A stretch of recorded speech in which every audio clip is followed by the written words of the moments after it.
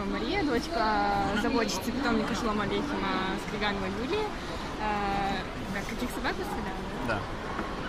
Кавалер Кинчар Спаниели. Э, Мы взяли 7 собак. Э, Наши собаки стали сегодня юные чемпионы Европы, два юных чемпиона Европы э, и один э, юный чемпион Европы. А Ой, не юный, просто. каких- в каких они классах?